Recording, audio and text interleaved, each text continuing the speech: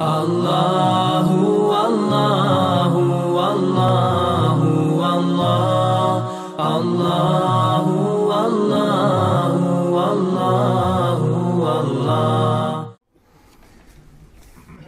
إن الحمد لله تعالى نحمده نستعينه ونستغفره ونستهديه ونعوذ به من شرور أنفسنا ومن سيئات أعمالنا من يهده الله تعالى فهو المهتد ومن يضلل فأولئك هم الخاسرون وأشهد أن لا إله إلا الله وحده لا شريك له وأشهد أن محمدا عبده ونبيه ورسوله وصفيه من خلقه وخليله ثم أما بعد. يا أيها الذين آمنوا لا تكونوا راعنا وقولوا انظرنا واسمعوا وللكافرين عذاب أليم. O vjernici nemojte govoriti ra'ina, nego recite unzurna i slušajte, a nevjernike bolna patnja čeka. A nevjernike bolna patnja čeka.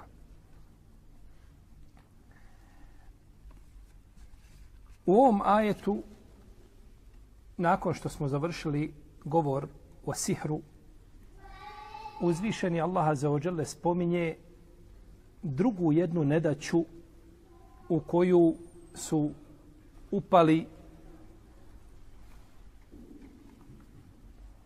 Israilovi sinovi. A ona je veća od ove prve. Prva nedaća je bila sihr. I ona je opasna. Međutim, ova nedaća u koju su upali, koju spominje, ova je ajte veća od prve nemojte govori, govoriti ra'ina, već kazi, kažite onzorna. Jer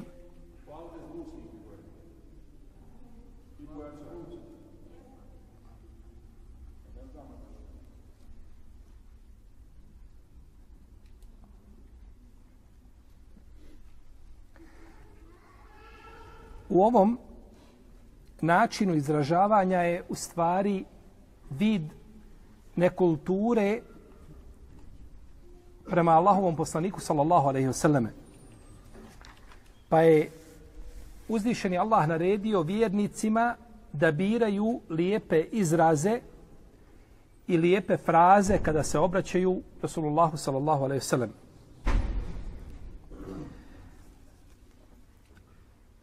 Muslimani su govorili poslaniku sallallahu alaihi wasallam ra'ina, pogledaj nas, okreni se k nama, pripazi nas, vodi brigu o nama.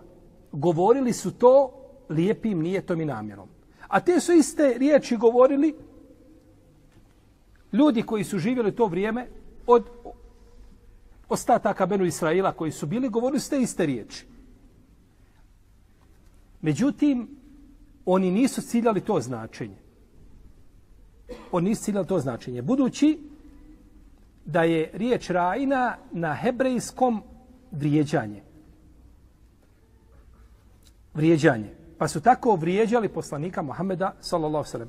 Pa su to muslimani govorili lijepim nijetom, želeći time jedno značenje, a oni su govorili istu riječ, želeći njome drugo značenje. Pa su onda kazali, nekada smo davno vrijeđali Muhameda tajno, a sada ga vrijeđamo javno. I on to ne konta.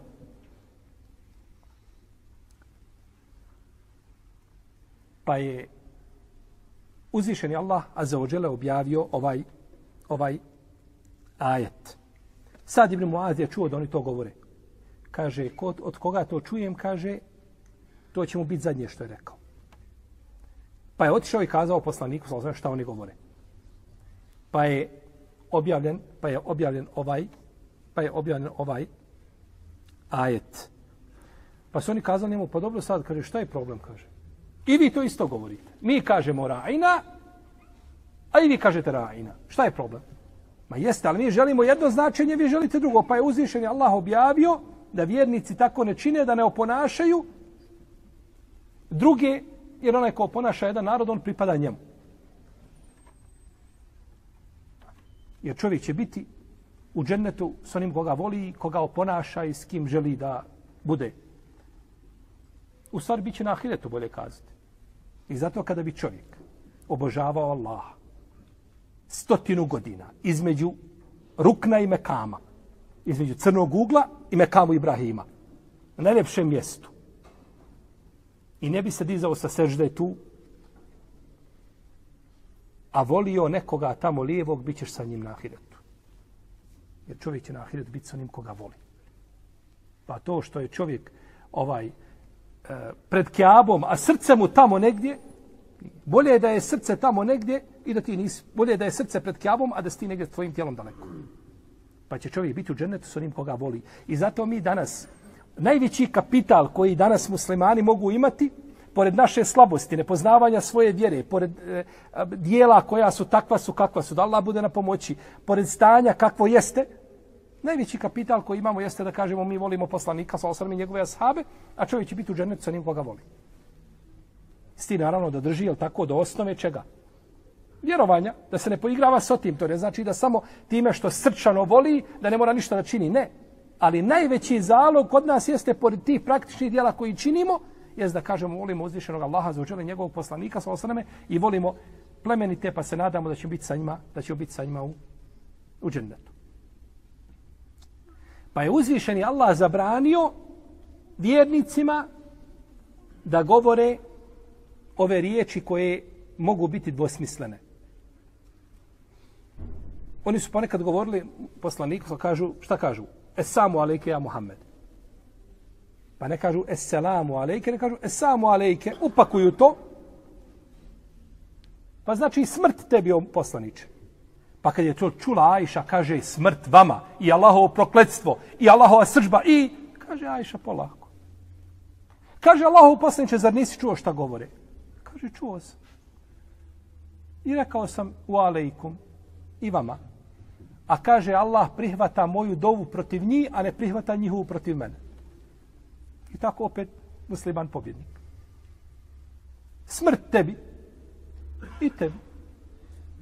I Allah prihvati tvoju dovu, a ne prihvati. Tako došlo kod Buhari u Sahihu. Allah prihvata moju dovu protiv njih, a ne prihvata njihovu protiv koga? Protiv mene. I opet tako postignut šta? Cilj. Međutim, to je tako put ovaj a, onih koji nemaju pri sebi ništa od istine. U ovom ajetu imamo dvije jako bitne a, činjenice o kojima treba nešto progovoriti. Prvo, da čovjek a, treba birati kada govori i kada priča da bira lijepe riječi. Da bira lijepe riječi. Znači, može se i osuditi neko. Može se neko, da kažemo pod navodnicima, i u laž utjerati na lijep način. Ako već mora biti da ga ulaž utiraš, onda to na lijep način uradiš. Ne mora znači biti da čovjek koristi najgrublje izraze ako imaš izraz koji je ovaj nešto mekši od onoga koga želiš upotrebiti. Pa treba čovjek znači da uvijek pazi kako će se a, obraćati ljudima, da ne vrijeđa, da ne omalovažava ljude i da ne pocijenjuje. Islamski učenjaci neki iz ovog ajeta izvode zaključak, kažu kada čovjek, kad bi nekoga indirektno potvorio za nemoral, indirektno nekoga potvori za nemoral, nešto što je u značenju, moglo bi se razumijeti i shvatiti iz toga, kažu Malikije treba, zaslužuje kaznu i sankciju. Na primjer, priča se o jednoj ženi. I jedan od prisutnih kaže, što se tiče nje, ta ne odbija nikoga. Te riječi ta ne odbija nikoga su elastične. Mogu se tumašiti na različite načine. A mogu se protefsirati na najgori način. Ili da se priča se o ženi, ne znam, o e, nepokornosti, o nemorali, kaže se, a što se tiče te i te, ona je jako nagodna. Šta znači nagodna? Šta si ciljao? Šta si mislio? Kažu Malikije, ne, ne kazna. Hanefije i Hanbelije kažu neće biti, jer to je dvosmislan izraz koji nosi jedno i drugo značenje i kažu neće biti kažen zbog toga. Međutim, ovaj, nema sumnje da je takav znači način izražavanja, jeli, zabranjen i o tome ćemo posebno govoriti u suri En-Nur. Ako nas Allah poživi, budemo o tome govoriti. Ako dođemo do toga, govorit ćemo o ovom pitanju, znači kada se neko indirektno, kada se neko direktno potvori, jasno je. Ja ćeš doći sa svjedocima, ja kazna. Bić preko leđa. Međutim, kada to indirektno uradi, doćemo u suri Nur ponovo, inša Allah, do tog, do tog pitanja. I drugo, o čemu ćemo malo više danas govoriti vezano za ovaj ajet, jeste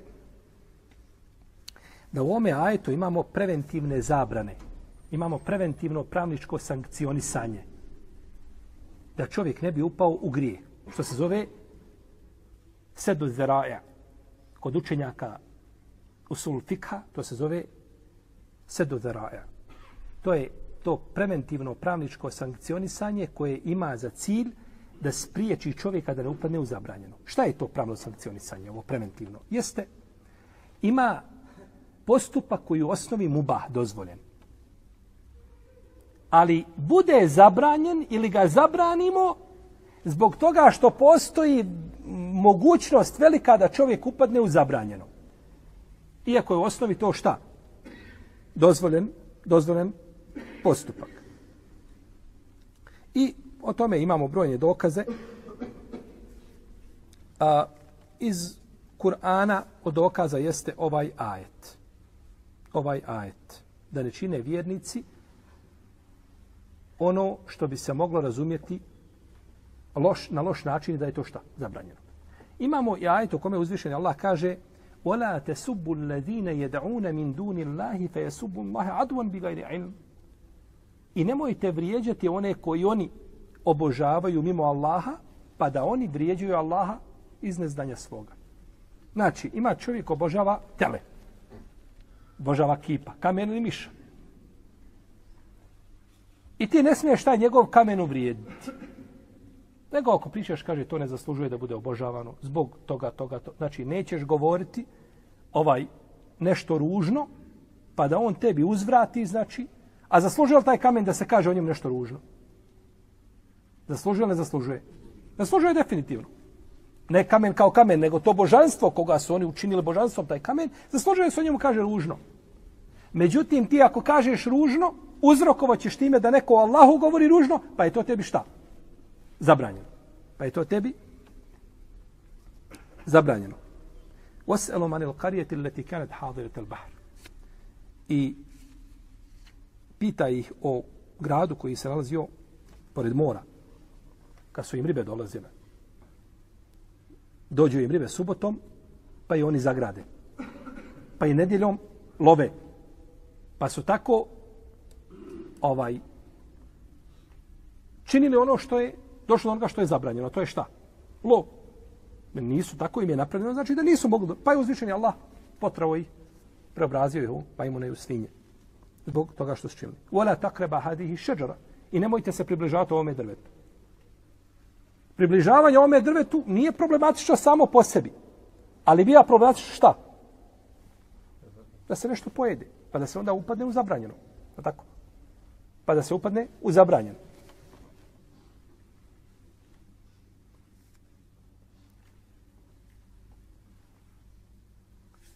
I drugi argumenti koji se navode u vezi s tim, kao što je hadis Aisha radijallahu ta'ala anha u kome kaže da su ona i umu Habibe i umu Seleme vidjele jednu crkvu u Abesiniji, a u njoj su bile iscrtane slike. Pa je poslanik, sal sam rekao, kaže, oni, kaže, kada bi im neko umro od dobri ljudi, kaže, oni bi nacrtali njegovu sliku i na tom njegovom kaburu napravili džamiju. Kaže, to su najgora Allaha, kod Allah, to, su naj, to su najgora stvorenja kod Allaha. Ovi kada su crtali slike ti dobri ljudi, oni su crtali slike da bi šta? Da bi se posjećali ti ljudi, da bi kaže ovaj je bio dobar, pa ugledajte se na svoje prethodnike, nemojte, nemojte se obrukati, nemojte, osvjetlajte lice tim ljudima, jel u redu, vi ste njihovi potomci. Međutim, kada su došle generacije nakon toga, oni su te slike šta? Doživljavali putem šetanskih vesvesa, kažu da su i ti preci obožavali, pa su ih počeli obožavati. Je tako? Nije bilo zabranjeno svugdje to slikanje i ti kipovi, ne mora znaš da su bili zabranjeni u priješnjim šta? Viro zakonicu, to je kod nas zabranjeno. Pa je to znači preventivno, preventivno je znači zabranjeno. I ovdje autor spominje, kaže, povećala se Allahova sržba na ljude koji su uzeli kaborove svojih poslanika i dobri ljudi kao džamije. Svoji poslanika i dobri ljudi. Kao, ovo dobri ljudi nema u hadis kod Malika. Hadis je došao bez spominjanja dobrih ljudi. Samo svojih poslanika, znači za, za džamije. Ako ne može biti na kaboru poslanika džamija, onda ne može biti na kaboru šta? Dobrog čovjeka. I to je preče, jel tako? Da, da ne bude. Imamo hadis Nuomana ibn Bešira, u kome je poslanik sa kaže halal je jasan i haram je jasan. A između toga su nejasne stvari. Ko upadne u to upao je u haram kao čovjek koji čuva znači stado oko zabranjenog posjeda, pa postoji uvijek mogućnost da upadne. Pa je ovdje preventivno upao si nešto što je sumnjivo, možeš lahko putem toga da upadneš u šta? U haram. Pa je preventivno, znači to, pa je to preventivno zabranjeno. I došlo je u hadisu, koga bilježi imam Ibn Mađi. I Tirmizi sa dobrim lancem prenosilaca da je poslanik svala rekao, neće, kaže čovjek, dostići stepen da bude od bogobojazni, sve dok ne ostavi ono što je dozvoljeno, bojeći se da ne upadne ono što je zabranjeno. Sve dok ne ostavi ono što je dozvoljeno, bojeći se da ne upadne ono što, ono što je zabranjeno. Znači, sve što znaš da je dozvoljeno, šta? Ostavi. Je tako? Nije. Ovdje se kaže, u hadise jasno kaže, dok čovjek ne ostavi ono što je dozvoljeno, bojeći se da ga to dozvoljeno ne uvede gdje? U haram. To je cilj. Jer jednom čovjeku ima dozvoljena stvar i on on to čini, ali boji se. Kaže, ovo neće izaći na dobro. Ovo jeste halal, ali ovo neće ovako izaći na dobro. A drugi to čini i kaže, ne, ja, ne, nema su ti nikakvih problema. Ne bojim se da će to mene odvesti u haram. Pa jedno može biti dozvoljeno, drugom šta? Jer je to put ka čemu? Ka zabranjeno. Pa da ne bi neko shvatio sve što je mubah, ostavi. Mubah je piti čaj, da ne bi sutradan pio pivo, ostavit ću čaj. Kakve veze ima čaj sa pivom? Znači, ono što čovjek zna da ga može odvesti u haram, znači tu treba povući srtu i da, da ostavi tu taj halal. A nikako znači da sve ostavlja što mu uzvišen Allah dozvolio, to je samo opterećavanje samog sebe i to nije, to, to nije od din islama. I došlo je u hadisu kod imama muslima da je poslanik sa osvam rekao od velikih grijeha jeste da čovjek vrijeđa svoje roditelje. Da čovjek vrijeđa svoje roditelje. Kaže Allah posljedniče, zar čovjek može vrijeđa svoje roditelje? Kaže, vrijeđa oca drugog čovjeka, pa on vrijeđa njegovog oca. Pa ovaj uvredi, pa uvredi njegovu majku, ovaj uvredi njegovu majku. Raspleva se čovjekom, kaže, glup si kao i tvoj babo. I ovaj mu odgovori onda, babo ti je glup, je majka ti je ovakav si. Pa je sam sebi uvredio koga?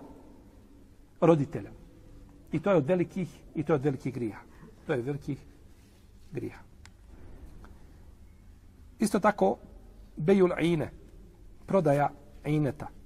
Prodaja ineta je da čovjek prodaje uh, hadis ibn Omara, kod je Budavuda, i da te bajatum bila ine, u hadistom bez nabel bekar, u reditum bez zara. Sallat Allahu alaikum zulen, la jenzijuhu ankum, hata teđu ila dinikum kada se bude prodavalo po bejul'ine, prodaje se na jedan kamatni način, jedno poslovanje kamatno, a to je da čovjek dođe u jednu trgovinu kod jednog prodavca, nije bitno, i želi on određenu robu. Dođeš ti u trgovinu, u robot i hoćeš frižider.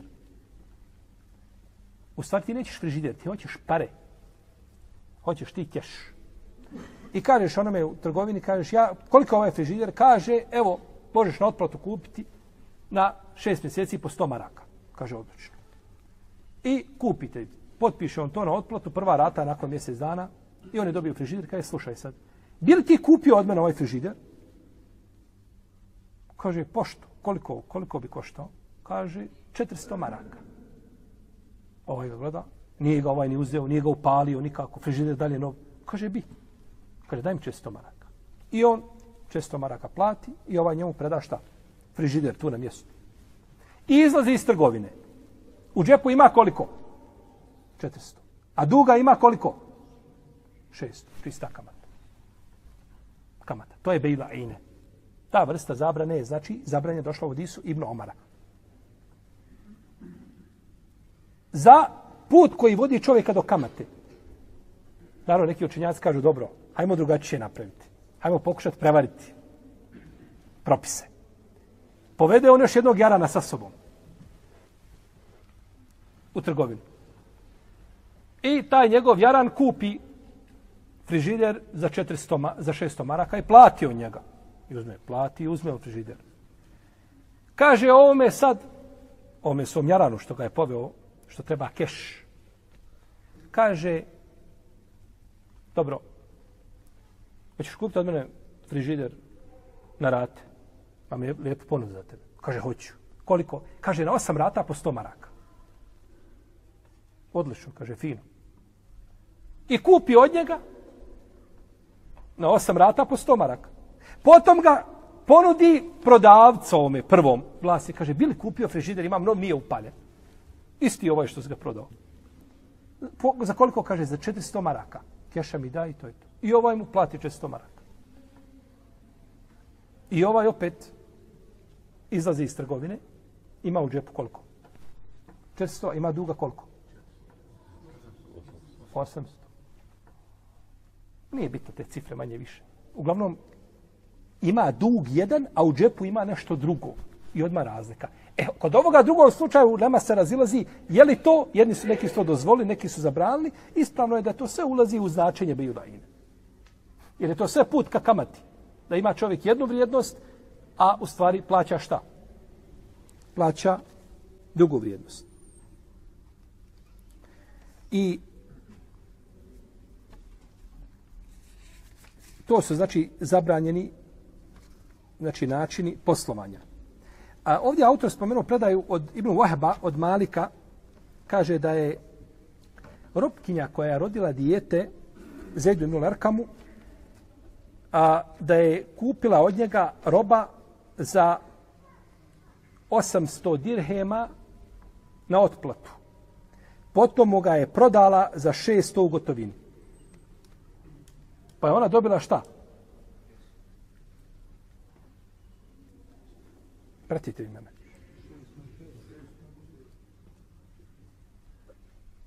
Ona je dobila šest. A dužna je koliko?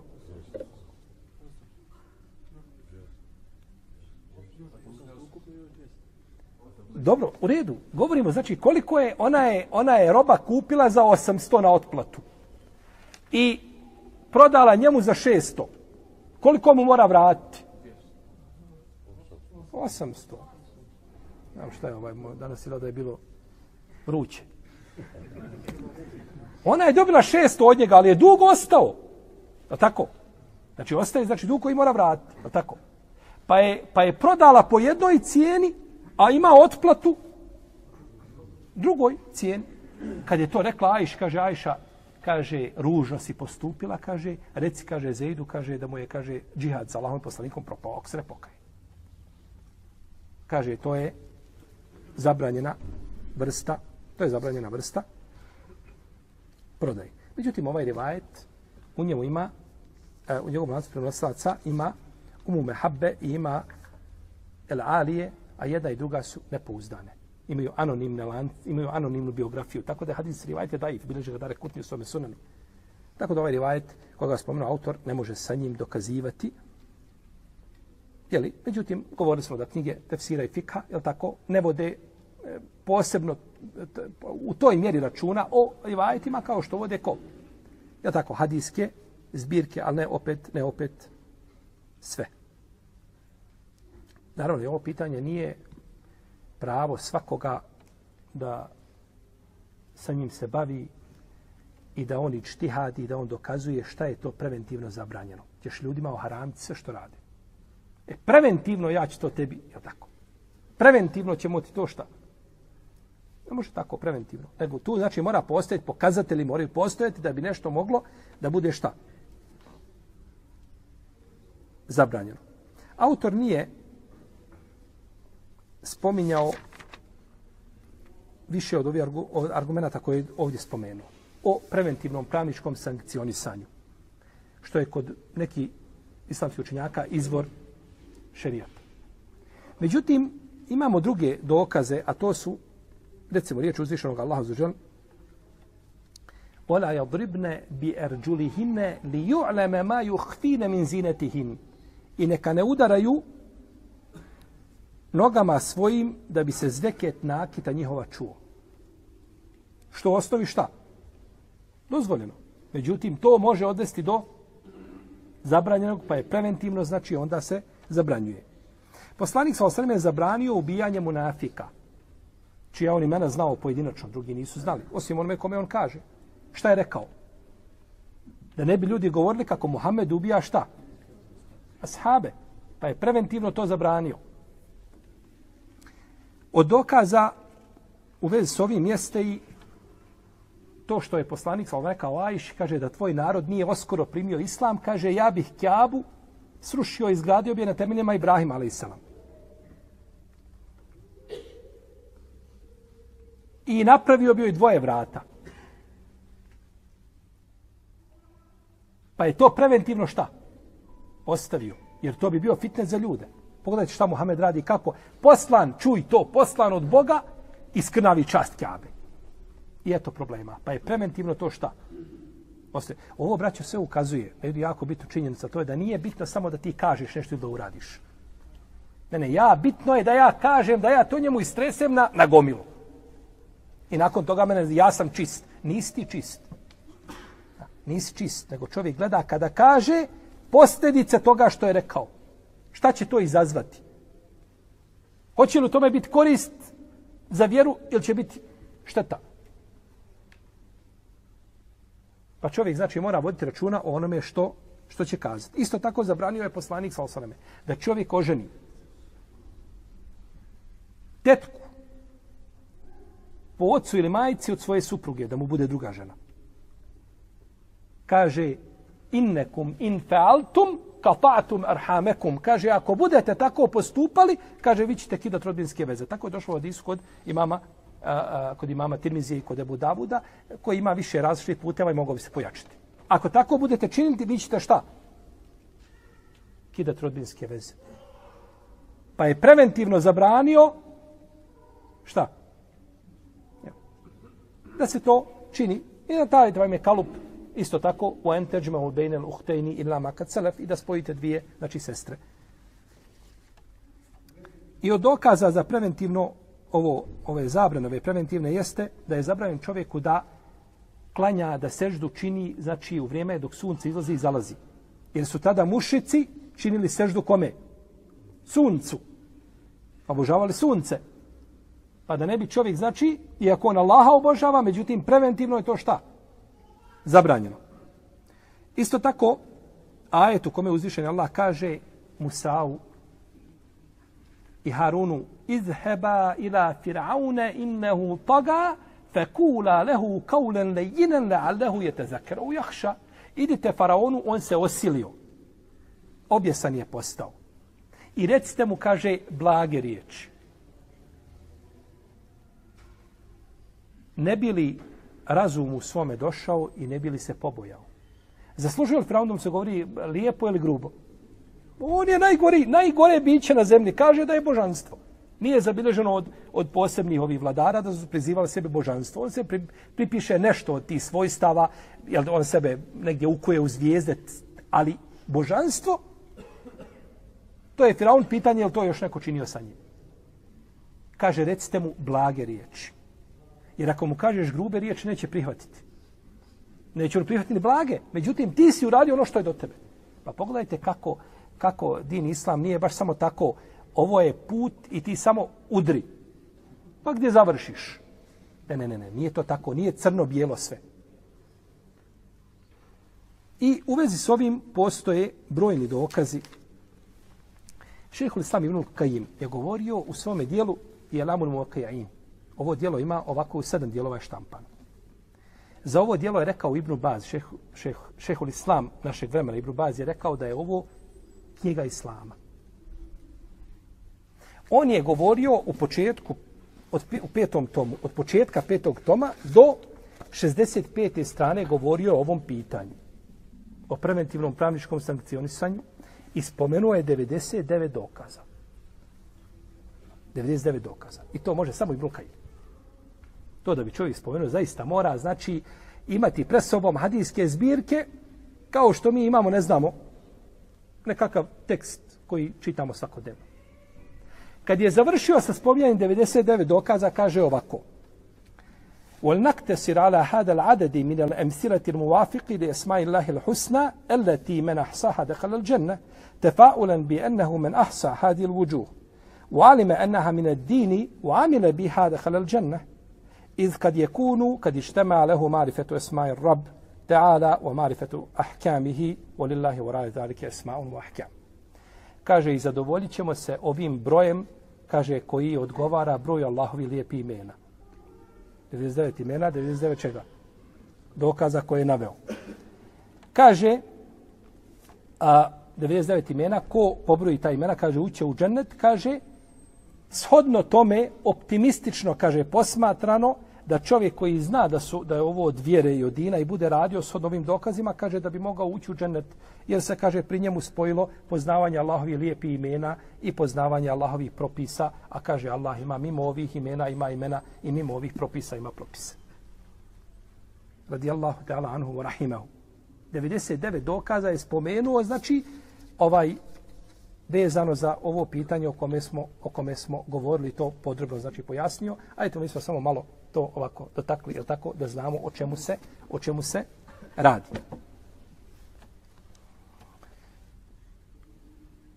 Okulun zurna i recite, gledaj nas. Gledaj nas, ovo nema rajina. Rajina može biti dvosmisleno. Ali pogledaj nas, obrati pažnju na nas, a unzurna, to je potpuno jasno, u tome nema nikakve čega. Dvosmislenosti Wasmeu. I slušajte. Slušajte. Slušajte ono što vam Allah naređuje i činite. I slušajte ono što vam zabranjuje, pa nemojte šta? Činiti. Olil kjafirine azabun elim, a nevjernicima bolna patnja pripada. Bolna patnja pripada zbog ismijavanja sa poslanikom sa i vrijeđanja njega. I pazite, ovdje nije rečeno i njima volehuma azabun elim sa zamjenicom i njima pripada, nego nego nevjernicima. Da ukaže na, na, na veličinu zločina koga su svojim jezicima. Vrijeđajući poslanika sa osam. I da nikakvog drugog grijeha nisu imali u to vrijeme, osim ovo što su kazali, to je dovoljno. To je dovoljno. Ne treba im nakon toga, grijeh im ne treba nikakav. Da umru na seđde, ne pokaju se od tog grijeha, to im neće pomoći na sudnjem danu.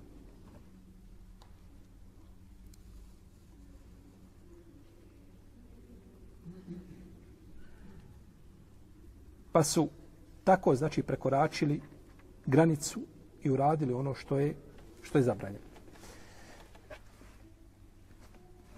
Dobro. Mi ćemo nešto još dodatno progovoriti vezano za ovaj ajet.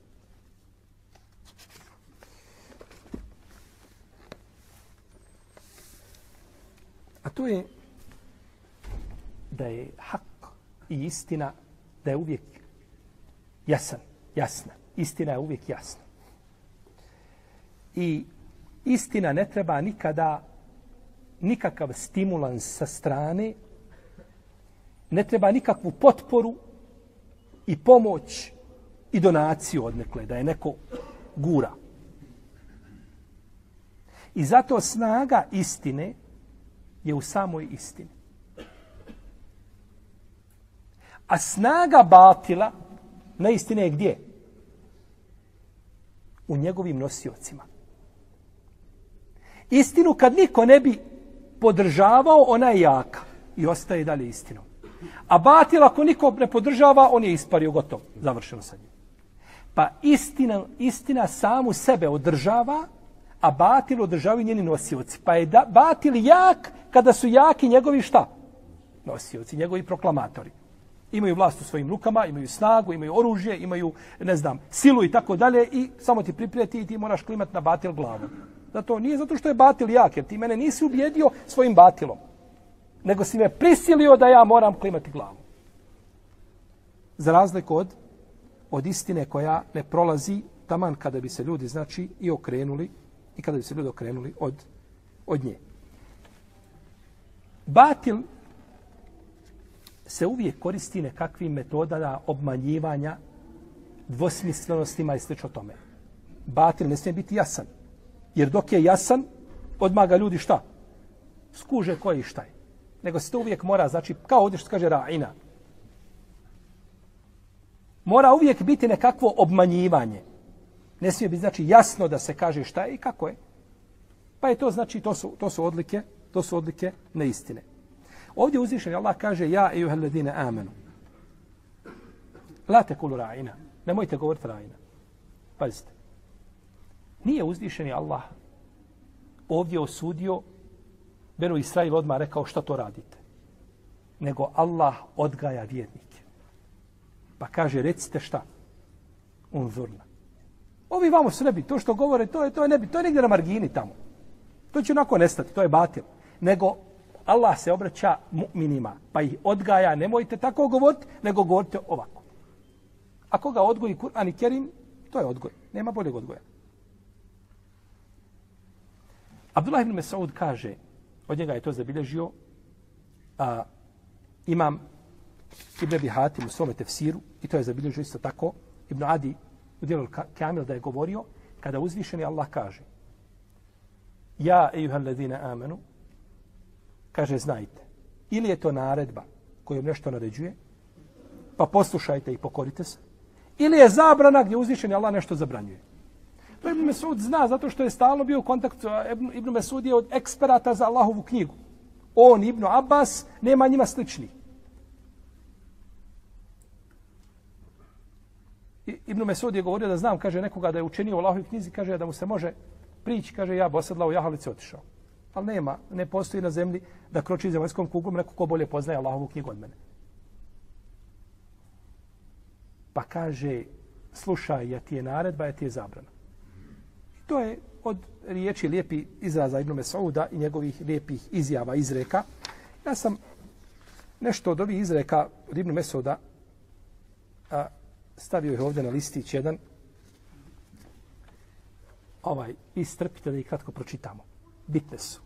Od njegovih lijepih izjava koje, koje je kazao u svome životu i došle su u, u zbirkama spomenute razno raznim, nećemo spominjati znači gdje su zabilježene zbog vremena ni da vas opterećujemo, nego samo njegove izjave da vidite kako Ibn Mesud govorio, imate osjećaj da priča da je to da je to iz, iz svjetiljke poslanstva. Kaže Ibn Mesud, kaže čovjek neće hodati osim s nekim koga voli i ko je kao on. Dok vidite dvojice da hodaju, pričaju oni lijepo, sve potama, znajte da su isti. Ideja je jedna. To je među njima je u par deka. Tu su oni negdje. Ne može biti dvije različite ideje da tek tako stalno su zajedno, a potpuno različite. Toga nema ništa. Nego čovjek sebi draži druga kao što je on. U drugoj izjavi kaže Abdullah ibn Sud, kada bi čovjek ušao u džamiju, kaže ima u džamiji, vjernik uđe u džamiju, kaže u džamiji ima stotinu munafika i jedan mu'min. Kaže, on bi prišao, kaže, si oko mu'mina. Gdje si, kako se šta je? A kaže, kada bi ušao munafik u džamiju, u džamiji stotinu mu'mina jedan munafik, on ode kod munafika. To je tako. To su pokazatelji. Kaže, Ibn Mesud jednog dana izišao svojim učenicima, sa kojima je uvijek bio, kaže, entum džela'u huzni, kaže, vi otklanjate, kaže, moju nedaću. Vi otklanjate moju tugu. Da vas nije, ja bio tužan čovjek. Možeš zamisliti kako je Ibn Mesud odgojio svoje učenike. Kaže Ibn Mesud, nisam se, kaže, ni, a, po pitanju ničega se više ne kajem, kao po pitanju dana, kaže, koji me prođe, a nisam, kaže, u njemu ništa dobro uradio, kaže, a moj se eđel približio. Znači, propao ti jedan dan. Od ujutro do naveče nikakvog hajra uradio nisi, a eđel ti se približio. I kaže Abdullah ibn Mesud, kaže, svi ljudi lijepo govore. Svi ljudi lijepo govore. Pa kaže onaj čija dijela budu u skladu sa govorom, kaže taj je iskren.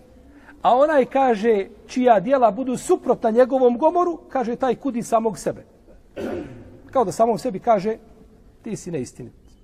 Ti si neiskren. Kaže, dalje, ja kaže prezirem da vidim čovjeka da je prazan, misli nezaposlen niti radi nešto što je za dunjaluk, niti što je za ahiret. Onako, sjedi. Ništa. Na ono N, na neutralno. Ništa on, povaz dan tako sjedi. Ni, ni za dunjaluk, ni za šta. Ni za ahiret. Kaže, dalje, ja, kaže, smatram da čovjek zaboravi znanje koje je zna, kaže, zbog grijeha koga uči. Znaš znanje, naučio si nešto slijepo naučio i čuo lijep hadis i njegov tefsir. I taman da hoćeš da radiš po njoj, učinješ grije i to se makne i zbog grijeha koga čovjek čini. Kaže dalje, Abdullah ibn Mesud kaže, budite, kaže, izvor znanja i budite svjetiljka upute, čuvajte se, budite u svojim kućama kad nastupe neredi i kaže, budite kao svjetiljke po noći u svojim ibadetima. I kaže, obnavljajte iman u svojim srcima, kaže, onda kaže jednu riječ, neka vas znaju, kaže, na nebesima, a da vas ne znaju na zemlji. Hoće kazati, budi prepoznatljiv kod stanovnika nebesa da je to taj, a da te ljudi na zemlji šta? Ne poznaju. Hoće kazati, budite znači, skriveni, tajni, budite uh, u svom, svome ibadetu, iskreni, tako da to ne radite radi ljudi, nego od Allaha, pa da vas znaju, znači, stanovnici nebesa, ne znaju stanovnici zemlje. I kaže Abdullah ibn Mesud, kaže, srce ima, kaže, svoja vremena kada je aktivno, kada voli, kada želi da čini hajri dobro. Kaže, tada, kaže, pustite mu da čini i da radi. A kaže, kad vidite srce da je onako sve nikakvo, izgubilo volju, onda kaže, umir se. I to je to, kada osjeti čovjek u ibadetu svome, u bilo čemu osjetiš snagu, radi. A kada osjetiš da si malaksao, onda sjedi.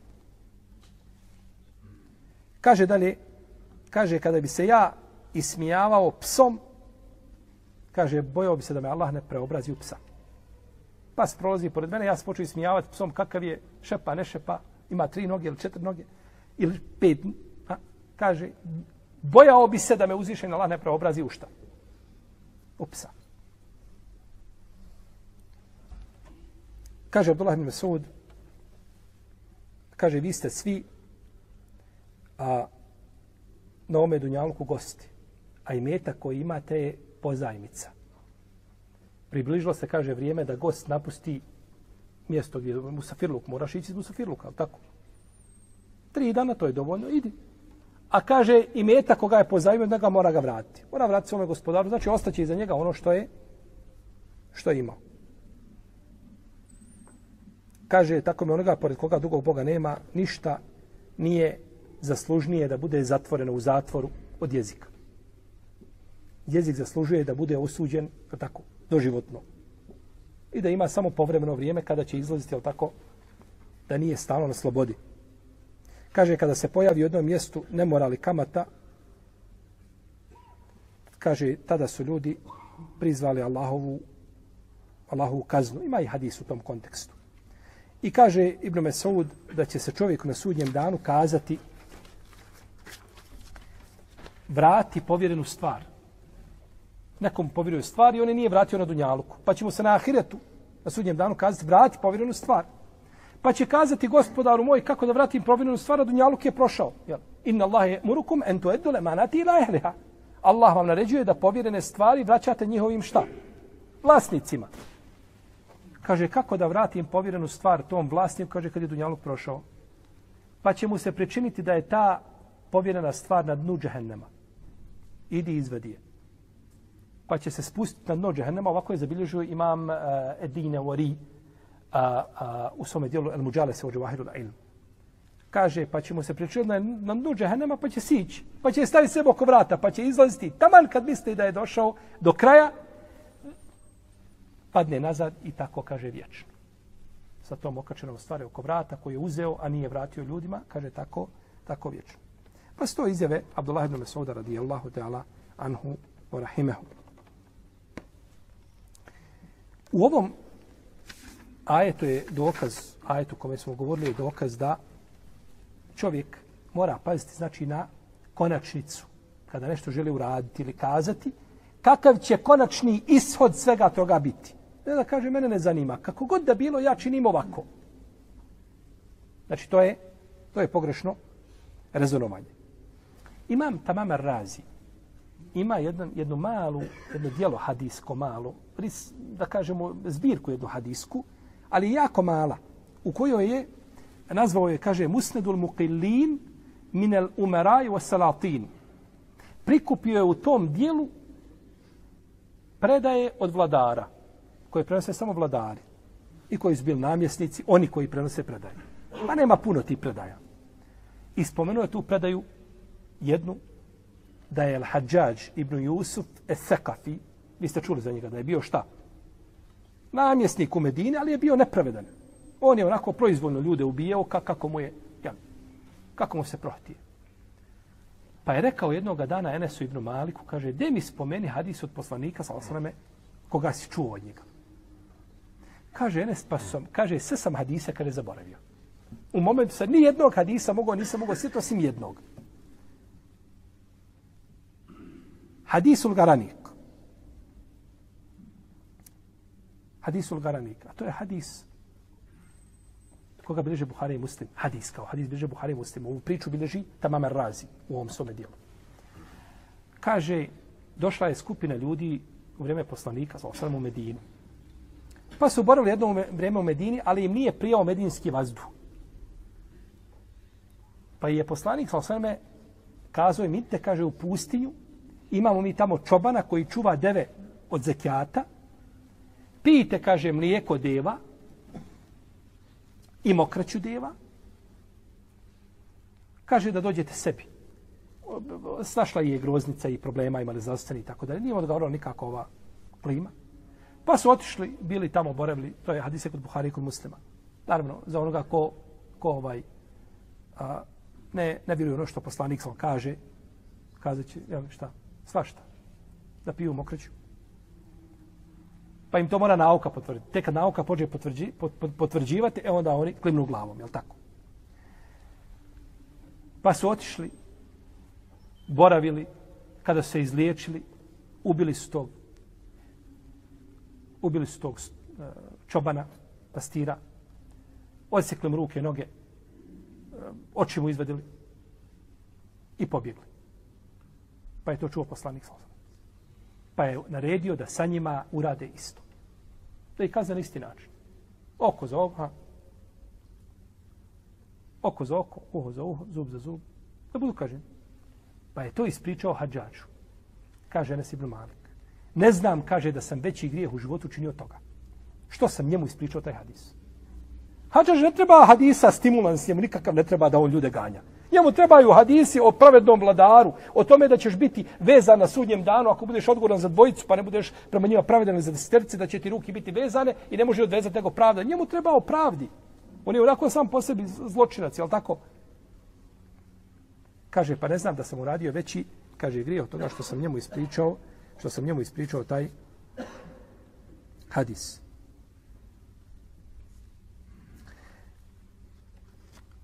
Je li Enes slagao na poslanika sa osam? Ili rekao istinu? Ma nije to za njega. To hađađov razum ne može dokučiti. On će to zloupotrebiti. Pa kad zna da će zloupotrebiti, da nećeš razumjeti na ispravan način, nećeš nikako to znati. To za tebe nije. Jer nisi zreo za toga, ne možeš dobaciti toliko.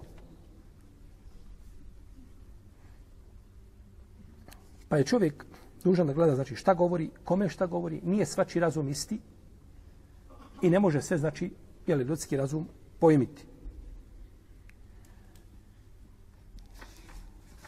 Neko da znači bira lijepe izraze. Čak je poslanik, sa osam, mijenjao ružna imena. Došla jedna žena, kaže, kako se zoveš? Kaže, ja sam Asija. Asija, nepokorna, kaže, ti Džemile. Ti si, kaže, lijepa. Tako je došlo kod muslima u sahihu. A kod Buharije ima hadis od Saida ibn Musaiba, od njegovog oca, od djeda, koji se zvao zvao se Hazn. Pitao ga je poslanik, sa osvrame, kaže, kako se zoveš? Kaže, ja zovem Hazn. A Hazn na arapskom znači grubi, osori. Nisi ti, kaže, Hazn, ti si Sehel. A Sehel je suprotno značenje. Blagi, nježni. Pa gleda, kaže, ma u gairu ismen se manihi ebi. Kaže, ja neću promijeniti ime koje je moj men babu dao. To je to. Babo je mene tako, jeste, ali ovo poslanič, ti kažeš da sam ja drugačije, Ne, da je Allahov poslanik došao i da ti mijenja iz sehla u hazn, te baš kazati Allahov poslanik, to je tvoj izbor, jeste, ja sam hazn. Završ. I nije htio prihvatiti. Kaže Said ibn Musaib, kaže do dana današnji, kaže u našoj porodici vlada osorost, zbog toga, kaže, zbog dede, što je odbio da promijeni. Do dana današnji, kaže, mi smo osori, grubi.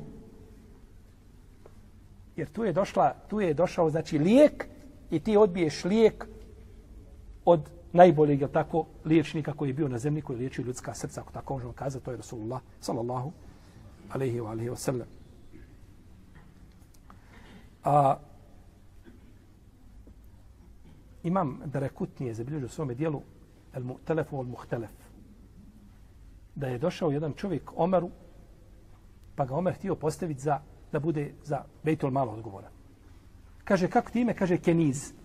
A Keniz je onaj koji gomila pare. Keniz je onaj koji gomila. Kenz je riznica. A kaže, kako ti ime babi? Kaže, Habi. Habi je onaj koji krije, prikriva. Kaže, vallaj, kaže, sin gomila, a babo prikriva. Kaže, nećeš, kaže, biti odgovoran za Bejtul Mal. Zbog imena. Zbog imena. Ali kažu ponekad čovjek ima u svome imenu da ima udjela. Da ime ima udjela u kome? U čovjeku. Značenje imena, da i zato je naređeno nama da dajemo šta djece lijepa. Šta? Imena lijepog, znači lijepog značenja. Kada je rečeno El Abbasu, kaže, jesi li ti stariji ili je stariji poslanik sa osrame? Amidži poslanika, kažu, jesi li ti stariji ili on stariji? Kaže, ja imam više godina, on je stariji. Pazite, to je, to je, braćo, to je, to je kulminacija u edebu. Ja imam više godina, kako će ja biti stariji od poslanika sama? Ne znam koliko da, jer stariji uvijek znači da je neko i vredniji, i veći, jel, ovaj, pametniji, tako da ne, ne kaže. On, ja imam, kaže, više godina, a on je, a on je stariji. Ibn Abi Šejbe je zabilježio od Ebu Vajla, Šakika ibn Seleme, da je upitan jesi li ti, kaže, stariji ili je stariji Rabija ibn Husayn. Rabija ibn Husayn je tabin za koga je Ibn Mesud rekao, kaže da te je vidio poslanik, sal zavolio bi te, kaže. Da si imao tu priliku da te vidi, kaže, Allaho bi te poslanik zavolio. To je bio njegov učenik. Kaže, re, rešeno je, kome? Ebu Vajlu, Šakreku ibn Selemi. Jesi li ti stariji ili je stariji ko? Rabija ibn Husayn. Pa kaže, ja sam, kaže, starije, on je pametniji. Opet, tu je neko znači hoće kada stariji se ima više godina, ali to je samo, ako je to mjerilo, da, ja sam stariji, on je pametniji. Pa je čovjek obraćao dužnost da vodi računa kako će se izražavati, kako će govoriti, jer ima nešto zove tevrija, a to je dvosmislenost u ovome izražavanju. I ta teorija njen propis je bitno pojasniti. Dvosmislenost u izražavanju. Često se ljudi izražavaju pa kaže jeste ja sam rekao tako, tako, ali nisam mislio to, ja sam mislio to. Pa ti se izražavaš dvosmisleno i uvijek sebe otvoriš mala, ostaviš mala vrata šta? Otvorena. I uvijek možeš kliznuti. To nije svojstvo vjernika. Svojstvo je da se izražava jasno, rekao sam to i to i kažeš na kraju pogriješio sam. A hoćeš biti ne pogriješio? Pogriješio sam. Ali ta, ta dvosmisleno znači nije dobra. Pa kad je dužnost nešto pojasniti, onda je dvosmislenost haram. Kada je dužnost nešto pojasniti, pojasniti ta tebrija ili dvosmislenost je haram. A kad je nešto haram pojasniti, onda je dvosmislenost šta?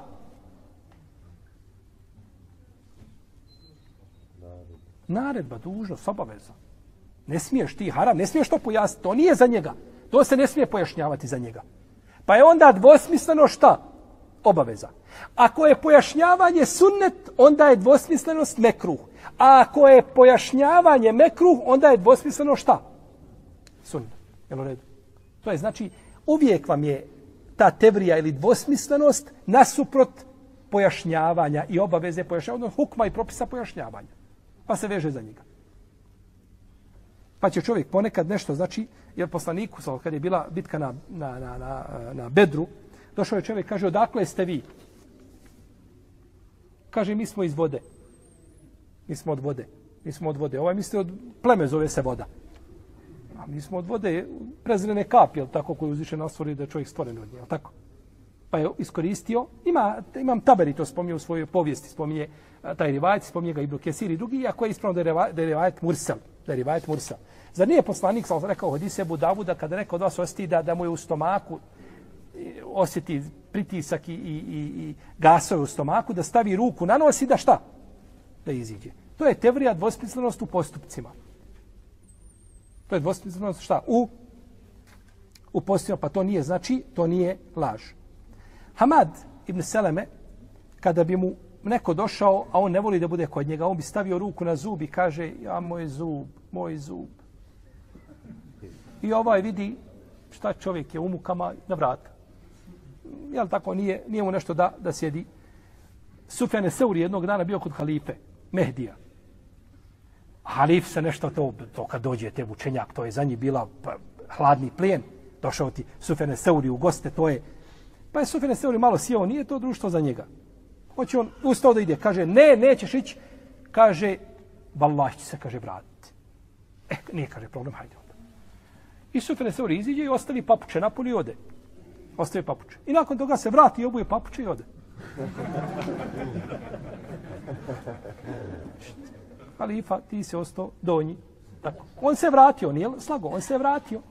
Vratio se, ali ne znao, nije rekao vratio, ja se, ja se vrati, vratio se i, i otišao. Ima Mahmed je bio jedne prilike, kod njega je bio El Mervezi, njegov učenik.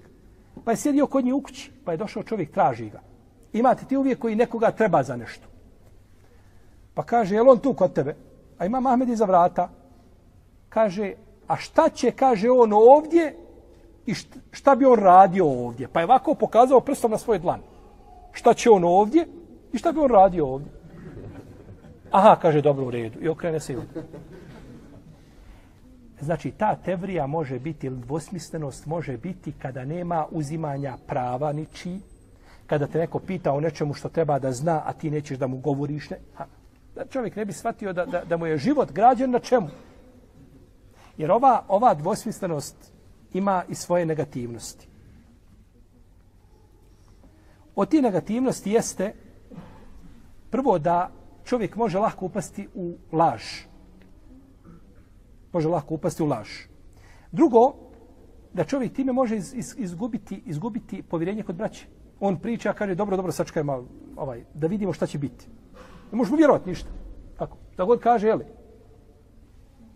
Treće, a, čovjek koji a, sluša i onda šta si rekao, i onda mu se poistoviti, to nije tako, a on ne zna stvarnost, toga može čovjeka smatrati lažovom. I četvrto, može čovjek, braćo, lako upasti u, u, u ovaj a, samodopadanje, samo obmanu, da kaže, ja se ljudima igram kako hoće.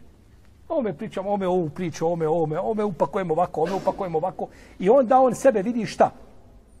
Da su ljudi, je tako, kao igračke ispred njega. Pa nema poštivanja prema svome sabesjedniku i, i sagovorniku. Pa čovjek, znači, ne bi trebao da koristi, zašto govorimo o ome, o tevriji? Ko će im kazati? Kako? zato što su ajetu govorili dvosmisleno. Pričamo o propisu jednom koji se tiče dvosmislenog govora. U ajetu je to spomenuto. Pa smo zato krenuli znači da govorimo nešto o tom dvosmislenom govoru kada ga čovjek smije govoriti, kada ga ne smije upotrebljavati, pa kada čovjek nema izbora i, i, i izlaza, ja će slagati, onda upotreblje nekakav dvosmislen govor, to mi kažemo diplomatski odgovor. To znaju ovi gore diplomate da kod njih čovjek ode može kurs uzeti sigurno bi naučio dosta toga, jer on ti priča pola sahta, ništa ti kazao nije, a sve ti je rekao. I ti sutradan nemaš dokaza protiv njega, on je sve kazao, kad mu kažeš nešto, ali dobro ti sve kaže, jeste, ali ja nisam tako mislio, nije to ciljano živ bio. Pa ti uvijek znači, to, to je znači, na jednom, jedno društvo ako izađe na takvim odnosima i na takvoj komunikaciji, onda je to, onda je to ne da će znači za to, za to društvo, nego to se koristi znači u vanrednim prilikama, a ne smije nikako biti to osnova čovjeku. Allahu ta'ala alam, sallallahu ala nabina Muhammed, wa ala alihi wa sahbihi ajma'in. Allahu, Allahu, Allahu,